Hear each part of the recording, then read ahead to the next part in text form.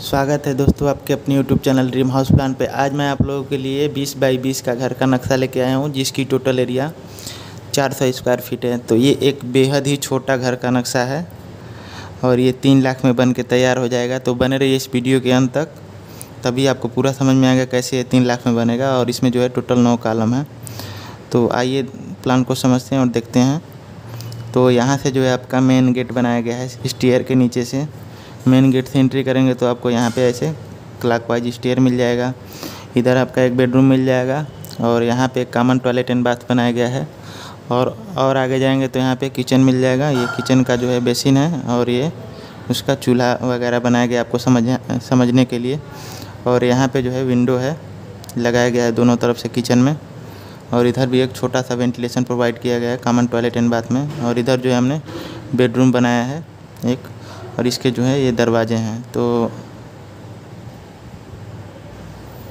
सबसे पहले आते हैं हम अपने बेडरूम का साइज़ देखते हैं तो बेडरूम का साइज़ हमारा रहेगा नौ फीट चार इंची मिल जाएगा आपको ऐसे। और आपका टेन फीट आपको ऐसे मिल जाएगा। टेन फीट मिल जाएगा। और इसका दरवाज़ा जो रहेगा, ये रहेगा आपका तीन फीट छः इंची चौड़ा रहेगा इसका दरवाज़ा। इसका भी दरवाज़ा रहेगा तीन फीट छः इंची बाई सात फीट का जो है दरवाज़ा रहेगा। और इस वाले बेडरूम का साइज़ रहेगा, ये भी आपका टेन फीट रहेगा ऐसे वाइड।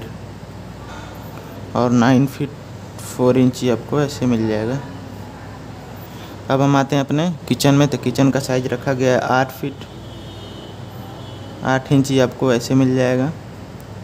आठ फीट आठ इंची और एट फीट आपको ऐसे मिल जाएगा।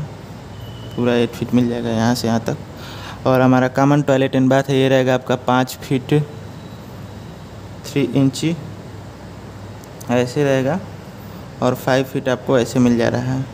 भले से आपको देखने में ऐसे चौकोर ना लग रहा हो, लेकिन ऐसा ही है ये। तो ये रहा इसका विंडो और ये रहा इसका दरवाज़ा। अब हम आते हैं अपने स्टेयर का, देखते हैं स्टेयर का साइज़ रहेगा हमारा आठ फीट आठ इंची चौड़ा रहेगा पूरा हमारा। ऐसे।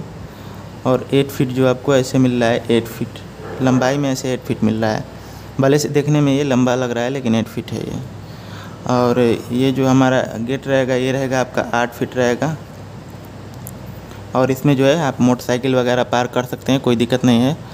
तो ये हो गया इसका साइज़ अब हम देखेंगे इसमें कितने कॉलम है। तो कॉलम का पोजीशन मैंने रेड कलर से बनाया एक, दो, तीन, चार, पाँच, छः, सात, आठ, नौ। तो नौ बाई नौ के कालम लगेंगे इसमें, नौ इंच बाई नौ इंच के कालम लगेंगे। और सारे वाल जो हैं इसके, ये सारे वाल जो हैं आउटर हो या इनर, सारे फाइव इंच के लगाए गए हैं। फाइव इंच का वाल सारा प्रयोग किया गया है। तो का, काफ़ी कम बजट में प्लान बन जाएगा आपका। मैंने ये तीन लाख में जो है इसको डिसाइड किया है बनाने का। तो कैसा लगा प्लान कमेंट में बताइए और ऐसा ही वीडियो देखने के लिए हमारे यूट्यूब चैनल को सब्सक्राइब करिए। धन्यवाद।